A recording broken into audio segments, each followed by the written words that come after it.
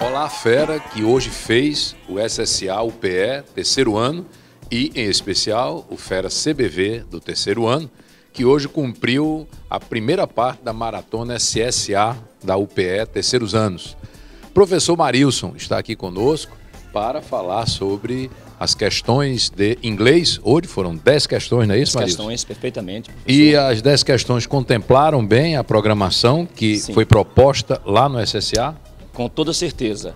É, de acordo com o programa que eles divulgaram, ah, houve essa contemplação e sabíamos de antemão que eles priorizariam claramente a parte de textos, é, procurando é, pegar do aluno ou retirar do aluno o seu conhecimento da captação de expressões, de ideias, e nesse aspecto é, o aluno foi preparado. E sabíamos também que haveria haveriam pouquíssimas é, é, é, questões do porte linguístico, ou seja, estruturas gramaticais.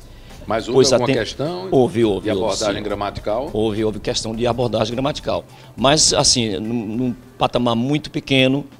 É... só para justificar. Só para justificar é? o programa. Quer dizer, o programa, programa muito longo para uma abordagem tão minúscula. Perfeito. É, mas a, a prova foi dentro do esperado.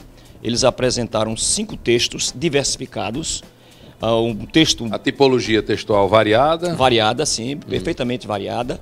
Eh, por exemplo, o primeiro texto que fala sobre human rights, children's human rights, que seria o direito das crianças, né, que está sendo violentado em toda parte do, do mundo, um texto bem interessante, um texto bem acadêmico e que é de uma temática muito contemporânea, né? a violência contra a criança. E a abordagem, achei apenas que eles procuraram trazer muito aluno para o texto.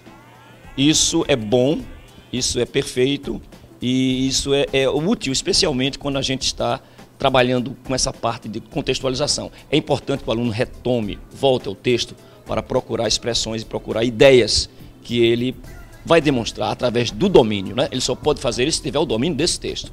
Então isso aí foi bastante priorizado. O vocabulário, vocabulário foi acessível, bom nível, acessível. bom nível, a diagramação da prova também perfeita, muito visual. Ah, os textos foram assim bem, bem selecionados, diversificados, como já disse, e partindo de um texto mais amplo para um texto minúsculo. Tanto ah, é que pelo cansaço, né? Você primeiro interpreta um texto maior e, consequentemente, você vai aos poucos interpretando o menor, que vai dar uma dinâmica para sua, né? Para você diminuir o, o, cansaço ou o estresse. Então, nesse aspecto foi muito positivo. A, a, a, o, as provas foram bem objetivas, as questões também foram bem objetivas. Não há nenhuma questão que o aluno possa ter se atrapalhado ou essa foi difícil.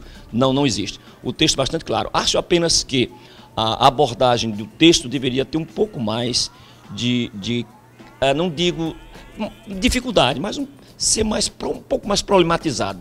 Perfeito. Entendeu? Porque estão muito óbvias. Foi bom para o aluno. Perfeito. O aluno com certeza fechou essa prova, eu não tenho dúvida disso. Agora, cansou um pouco, né? Devido a esse problema dos textos serem cinco textos para cinco, eh, dez questões e, de um modo geral, o aluno deve ter sentido um pouco de cansaço, mas com certeza ele fechou essa prova. Bom, aí está o primeiro comentário sobre a prova de inglês e daqui a pouco a gente volta com mais comentários de outras disciplinas. Até já!